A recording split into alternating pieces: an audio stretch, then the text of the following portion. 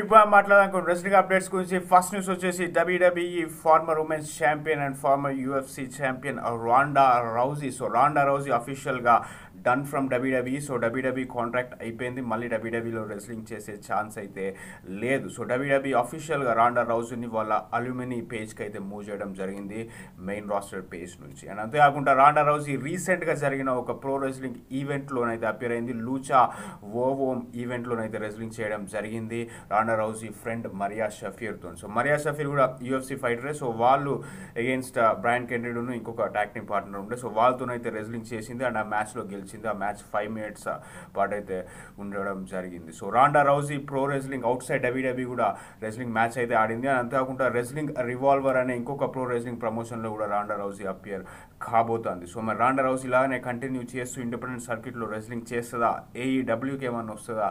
లేదా అనేది తెలుసుకోవాలంటే మనం ఇంకొన్ని వీక్స్ అయితే డెఫినెట్గా వెయిట్ చేసి ఉంటుంది. సో అది స్టోరీ రాండా రౌజీ ఫ్యాన్స్ మళ్ళీ డబ్ల్యూడబ్ల్యూలో రాండాను చూడడం అయితే కొంచెం కష్టమే అని చెప్పుకోవచ్చు. అండ్ అంతేకాకుండా నెక్స్ట్ న్యూస్ వచ్చేసి నిన్న జరిగిన బాక్సింగ్ మ్యాచ్. నిన్న కాదు అఫీషియల్గా ఈ రోజు మార్నింగే జరిగింది.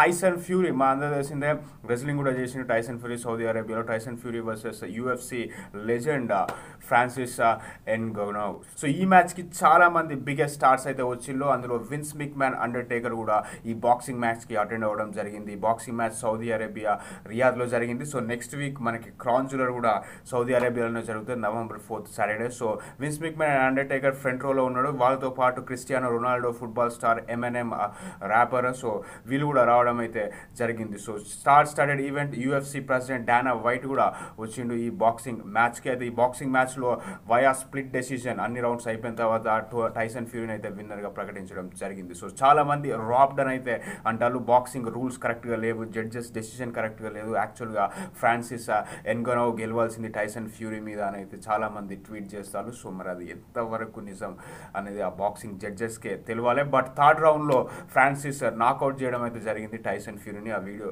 సోషల్ మీడియాలో సర్క్యులేట్ అయితే అవుతుంది సో టైసన్ ఫ్యూరీ అన్డిఫీటెడ్ ఇప్పటిదాకా బాక్సింగ్ మ్యాచెస్లో ఎక్కడ ఓడిపోలేదు. అండ్ మరి నెక్స్ట్ వీక్ యాక్చువల్గా డబ్ల్యూడబ్ల్యూ క్రిస్టియానో రొనాల్డోని క్రౌన్సిలర్ ఈవెంట్ కూడా తెద్దామని అయితే ట్రై చేస్తుంది. సో మరి విన్స్ మిక్ మ్యాన్ అండ్ అండర్టేకర్ అయితే వెళ్ళడం జరిగింది బాక్సింగ్ ఈవెంట్కి సో మరి వాళ్ళు ఏమైనా క్రిస్టియానో రొనాల్డోని కన్విన్స్ చేసి next week November ఫోర్త్న Cristiano Ronaldo Crown Jewel event ఉండబోతుందా లేదా అనేది తెలుసుకోవాలంటే మనం ఇంకొక వీక్ అయితే డెఫినెట్గా వెయిట్ చేయాల్సి ఉంటుంది. సో అది స్టోరీ అని అంతేకాకుండా Logan Paul versus Rey Mysterio Crown Jewel match అయితే ఉంది యునైటెడ్ స్టేట్స్ ఛాంపియన్షిప్కి సో ఆ మ్యాచ్ అయిపోయిన తర్వాత ఇమీడియట్గా లోగన్ పాల్ ఇంకొక ఫ్యూడ్ అయితే స్టార్ట్ చేసే ఛాన్స్ ఉంది Kevin Owens so Kevin Owens versus Logan Paul maybe probably Royal రంబల్కి ఉండే ఛాన్స్ అయితే ఉంది ఈ ఫ్యూడ్ సో చూడాలి అసలు లోగన్ పాల్ రైమస్టీన్ ఓడించి యునైటెడ్ స్టేట్స్ ఛాంపియన్ అవుతాడా లేకపోతే ఏం జరుగుతుంది అనేది మనకి క్రౌన్ జోల్ తెలుస్తుంది. అంతేకాకుండా క్రౌన్ జోల్ గురించి మాట్లాడుకుంటే ఇంకొక మ్యాచ్ అయితే ఆడింది Bianca Belair versus Iyo Sky for the WWE women's championship match Crown జూలర్కి అయితే అఫీషియల్ అవ్వడం జరిగింది. And John Cena versus Solo Sikoa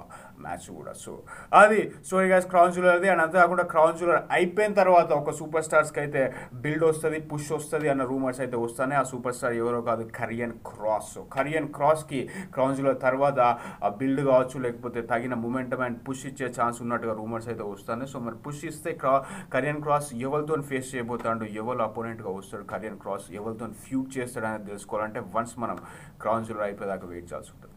and అదే కాకుండా WW undisputed universal champion Roman Reigns so Roman Reigns versus LA Knight Crown Jeweller probably main event ఉండే chance అయితే ఉంది. So మరి Roman race return చేసుకుంటా లేకపోతే ఎల్ఏ నైట్ గెలుస్తాడా అనేది మనకి క్రాస్ తెలుస్తుంది. అయితే next premium live event Roman Reigns Survivor Series work చేయకపోవచ్చు. సో సర్వైవర్ సిరీస్కి రిలీజ్ చేసిన పోస్టర్స్ అన్నిట్లో రోమన్ రైన్స్ అయితే ఒక దాంట్లో కూడా లేడు. సో డెఫినెట్గా Roman Reigns maybe Survivor Series miss అయ్యే ఛాన్స్ ఉంది. సర్వైవర్ సిరీసే కాదు మనకి ఆస్ట్రేలియాలో జరిగే ఎలిమినేషన్ చేంబర్ పోస్టర్లో కూడా Roman Reigns కనిపిస్తలేడు. So maybe Elimination Chamber and Survival Series Roman Reigns రెండు ప్రీమియం లైవ్ ఈవెంట్స్ మిస్ అయ్యే ఛాన్స్ ఉంది. సో ఇది కనుక నిజమైతే క్రౌన్ జూలర్ తర్వాత నెక్స్ట్ మనం రోమన్ రైన్స్ని ప్రీమియం లైవ్ ఈవెంట్లో చూసే chance Royal Rumble January twenty సెవెంత్న అయితే ఉంటుంది. So Royal Rumble Saint Petersburg Tampa Florida నుంచి అయితే జరుగుతుంది. సో మరి ఏం జరుగుతుంది? రాయల్ రంబల్లో ఎవరు విన్నర్గా వస్తారు అండ్ రోమన్ రైన్స్ ఎవరిని ఫేస్ చేస్తారని తెలుసుకోవాలంటే మనం ఇంకొక వన్ మంత్ అయితే వెయిట్ చేసి ఉంటుంది. సో రాయల్ రంబల్ గురించి మాట్లాడుకుంటే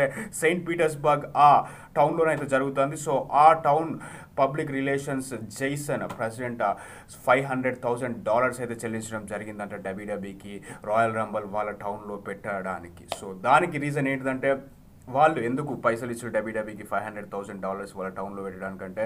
ఇప్పుడు డబ్ల్యూడబ్ల్యూ షో చేస్తుంది అంటే ఆ టౌన్కి డబ్ల్యూడబ్ల్యూ ఫ్యాన్స్ వస్తారు అండ్ ట్రాపికానా ఫీల్డ్ ఎరీనాలో జరుగుతుంది Royal Rumble so almost fifty thousand people అయితే డెఫినెట్గా ఉంటారు. Five zero fifty thousand people డెఫినెట్గా వచ్చే ఛాన్స్ ఉంది. సో వాళ్ళు వచ్చినప్పుడు వాళ్ళకి అకామిడేషన్ హోటల్స్లో ఉంటారు లేకపోతే టూరిస్ట్ ప్లేసెస్ విజిట్ చేస్తారు. సో ఆ సిటీకి చాలా రెవెన్యూ వస్తుంది. సో ఆ రెవెన్యూని మళ్ళీ రీఇన్వెస్ట్ చేసి ఆ సిటీ ఆ టౌన్ని డెవలప్ చేయడానికి అయితే వాడతారు. సో అందువల్ల డబ్ల్యూడబ్ల్యూ షో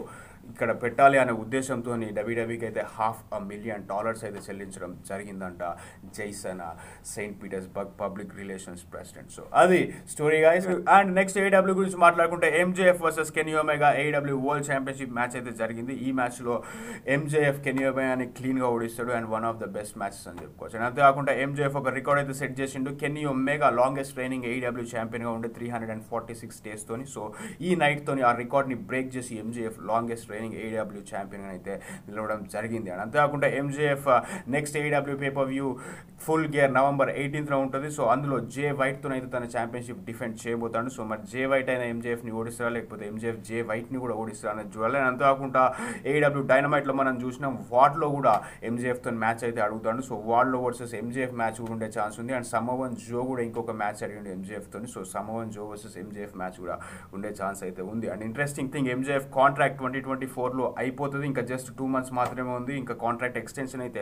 సైన్ చేయలేదు. ఏడబ్ల్యూ వరల్డ్ ఛాంపియన్ సో మరి ఏం జరుగుతుంది? ఎంజేఎఫ్ ఎవరు ఎక్కువ మనీ ఇస్తే ఆ కంపెనీకే వెళ్తా అని అయితే క్లియర్ కట్గా చెప్పింది. సో డబ్ల్యూడబ్ల్యూ ఎక్కువ మనీ ఆఫర్ చేస్తే డబ్ల్యూడబ్ల్యూకి వెళ్ళే ఛాన్స్ ఉంది. ఏడబ్ల్యూ ఎక్కువ మనీ ఆఫర్ చేస్తే ఏడబ్ల్యూలోనే ఉండే ఛాన్స్ ఉంది. సో మరి ఏం డెసిషన్ తీసుకుంటారు అనేది మనకి జనవరి ఫస్ట్ ట్వంటీ ట్వంటీ ఫోర్న తెలుస్తుంది. అండ్ అదే కాకుండా ఏడబ్ల్యూ సూపర్ స్టార్ బ్రయన్ డానియల్సన్కి మళ్ళొకసారి అయితే ఇంజురీ అయింది. సో ఆర్బిటల్ ఇంజురీ జరగడంతో Bryan Danielson rest of the twenty twenty three దూరం కాబోతాను ఇంకా ట్వంటీ ట్వంటీ త్రీలో బ్రయన్ డానియల్సన్ రాడు. సో ఆర్బిటల్ ఇంజురీ కారణంగా తను సర్జరీ చేసుకోవాల్సి ఉంటుంది. సో అందువల్ల మళ్ళీ బ్రయన్ డానియల్సన్ ఏడబ్ల్యూలో కనిపించేది ట్వంటీ ట్వంటీ ఫోర్లోనే. సో కొంచెం కేర్ఫుల్గా ఉండాలి. హార్డ్ హిట్టింగ్ మ్యాచెస్ కాకుండా కొంచెం లైట్గా లూజ్ షెడ్యూల్ చేసుకున్న అయిపో బ్రయన్ డానియల్సన్. ఎందుకంటే రీసెంట్గానే ఒక ఇంజురీ నుంచి రికవర్ అయ్యి వచ్చిండు. అండ్ ఇప్పుడు మళ్ళీ ఇంకొక ఇంజురీ అయితే అవడం జరిగింది. సో మరి తను రిటర్న్ అయిన తర్వాతనైనా కొంచెం కేర్ఫుల్గా ఉంటాడు? మ్యాచెస్ పట్ల తన షెడ్యూల్ పట్ల లేకపోతే ఇలాగనే every week hard hitting matches ఆడతాడని తెలుసుకోవాలంటే మనం ట్వంటీ ట్వంటీ ఫోర్ దాకా వెయిట్ చేయాలి and next Survivor Series November twenty ఫిఫ్త్న ఉంటుంది. సీఎం పంక్ వస్తాడు అని రూమర్స్ అయితే వస్తాయి so Allstate area Chicago నుంచి అయితే సర్వైవర్ సిరీస్ వస్తుంది. అయితే సీఎం పంక్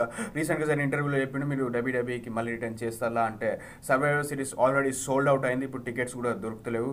నేను వచ్చే ఛాన్స్ లేదు అన్నట్టుగానైతే చెప్పడం జరిగింది. బట్ టికెట్స్ దొరకపోవడం సోల్డ్ అవుట్ అవ్వడం అది ఫ్యాన్స్కి సీఎం పంక్ ఒక రెస్లింగ్ స్టార్ కాబట్టి సో మేబీ వచ్చిన రా రావచ్చు. నాకు తెలిసి డెఫినెట్గా సీఎం పంక్ రిటర్న్ అయితే ఉంటుంది డబ్ల్యూడబ్ల్యూలో. సర్వైవర్ సిరీస్ ఒకవేళ మిస్ అయినా కానీ రాయల్ రంబల్లో కూడా వచ్చే ఛాన్స్ అయితే ఉంది. అండ్ ర్యాండీ ఓటన్ కూడా వచ్చే ఛాన్స్ ఉంది ఈ సర్వైవర్ సిరీస్ కానీ లేకపోతే క్రాన్ జూలర్లో కానీ సర్వైవర్ సిరీస్ ముందు షోలో కానీ so Randy Orton CM Punk big stars అయితే వస్తారు. సో అందువల్లనే మేబీ రోమన్ రైన్స్ సర్వైవర్ సిరీస్కి ఆబ్సెంట్ అవుతాడు కావచ్చు. అని కూడా మనం అనుకోవచ్చు. సో అది స్టోరీ గైస్ అండ్ అవి ఇప్పుడు కొన్ని wrestling news thank you so much